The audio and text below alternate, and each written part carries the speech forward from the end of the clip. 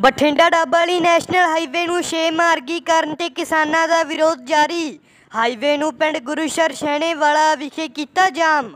ਦੱਸ ਦਈਏ ਕਿ ਸਰਕਾਰ ਵੱਲੋਂ ਬਠਿੰਡਾ ਡੱਬਾਲੀ ਨੈਸ਼ਨਲ ਹਾਈਵੇ ਨੂੰ ਛੇ ਕੰਮ ਸ਼ੁਰੂ ਕਰ ਦਿੱਤਾ ਗਿਆ ਹੈ ਅਤੇ ਕਿਸਾਨਾਂ ਵੱਲੋਂ ਵੀ ਉਹਨਾਂ ਦੀਆਂ ਜ਼ਮੀਨਾਂ ਦਾ ਸਰਕਾਰ ਵੱਲੋਂ ਪੂਰਾ ਮੁਆਵਜ਼ਾ ਨਾ ਦਿੱਤੇ ਜਾਣ ਕਾਰਨ ਕਿਸਾਨ ਇਸ ਦਾ ਲਗਾਤਾਰ ਹੀ ਵਿਰੋਧ ਕਰ ਰਹੇ ਹਨ।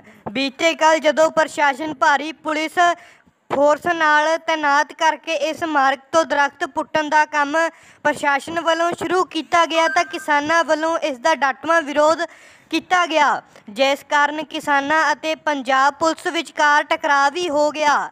ਜਿਸ ਨੂੰ ਲੈ ਕੇ ਅੱਜ ਭਾਰਤੀ ਕਿਸਾਨ ਯੂਨੀਅਨ ਏਕਤਾ ਗਰਾਹਾਂ ਵੱਲੋਂ ਤਿੰਨ ਜ਼ਿਲ੍ਹਿਆਂ ਦੇ ਕਿਸਾਨਾਂ ਵੱਲੋਂ ਇਸ ਨੈਸ਼ਨਲ ਹਾਈਵੇ ਨੂੰ ਜਾਮ ਅੱਜ ਕਰ ਦਿੱਤਾ ਗਿਆ।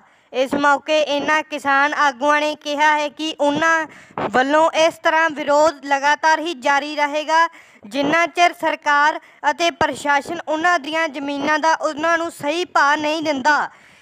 ਭਾਰਤ ਜੈਮਲਾ ਸੜਕ ਸਰਕਾਰ ਕੱਢ ਰਹੀ ਆ।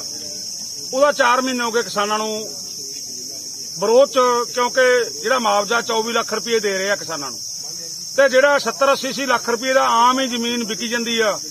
ਉਹ ਜਿੰਨਾ ਚਿਰ ਕਿਸਾਨਾਂ ਨੂੰ ਪੂਰਾ ਮੁਆਵਜ਼ਾ ਨਹੀਂ ਦਿੱਤਾ ਗਿਆ, ਕੰਮ ਨਹੀਂ ਚੱਲਣ ਦਿੱਤਾ, ਤੇ ਕੱਲ ਦੋ ਦਿਨ ਪਹਿਲਾਂ ਵੀ ਪ੍ਰਸ਼ਾਸਨ ਲਗਾਤਾਰ ਕੰਮ ਚਲਾਉਣ ਦੀ ਕੋਸ਼ਿਸ਼ ਕੀਤੀ ਆ, ਤੇ ਕੱਲ ਵੀ ਕੰਮ ਚਲਾਉਣ ਦੀ ਕੋਸ਼ਿਸ਼ ਕੀਤੀ ਇਹਨਾਂ ਨੇ, ਤੇ ਕਿਸਾਨਾਂ ਨੇ ਉਹਦਾ ਵਿਰੋਧ ਕੀਤਾ, ਤੇ ਜਦੋਂ ਵਿਰੋਧ ਕਰਦੇ ਆ ਤਾਂ ਫੋਰਸ ਦੀਆਂ ਭਾਰੀ ਧੜਾਂ ਫੋਰਸਾਂ ਮੂਰੇ ਲਾਉਂਦੇ ਤੇ ਕੱਲ ਨਾਕਾ ਭੰਨ ਕੇ ਉਹ ਕੰਮ ਰੋਕਿਆ ਗਿਆ ਤੇ ਇੱਕ ਬੰਦੇ ਦੇ ਚੂਲਾ ਟੁੱਟਿਆ ਗਿਆ ਜਿਹੜਾ ਉਸ ਦੇ ਰੋਸ ਵਜੋਂ ਤੇ ਨਾਲ ਹੀ ਲੁਧਿਆਣੇ ਜ਼ਿਲ੍ਹੇ 'ਚ ਉੱਥੇ ਵੀ ਆਈ ਪ੍ਰਸ਼ਾਸਨ ਧੱਕੇ ਨਾਲ ਜ਼ਮੀਨਾਂ ਤੇ ਕਬਜ਼ਾ ਕਰ ਰਿਹਾ ਸੀ ਤਾਂ ਜਿਹੜਾ ਕਿਸਾਨਾਂ ਦੀ ਕੁੱਟਮਾਰ ਕਰੀ ਆ ਤੇ ਨਾਲ ਖਿੱਚ ਤੂ ਕਰਕੇ ਥਾਣੇ ਤੇ ਲੈ ਕੇ ਗਏ ਆ ਉਹਦਾ ਰੋਸ ਵਜੋਂ ਦੋਨੇ ਥਾਈ ਅੱਜ ਧਰਨਾ ਜਾਰੀ ਆ ਤੇ ਰੋਡ ਜਾਮ। ਕਿੰਨਾ ਟਾਈਮ ਤੱਕ ਰੋਡ ਜਾਮ ਰਹੂਗਾ ਜੀ ਇਹ 3 ਵਜੇ ਤੱਕ ਰੋਡ ਜਾਮ ਰਹੂਗਾ।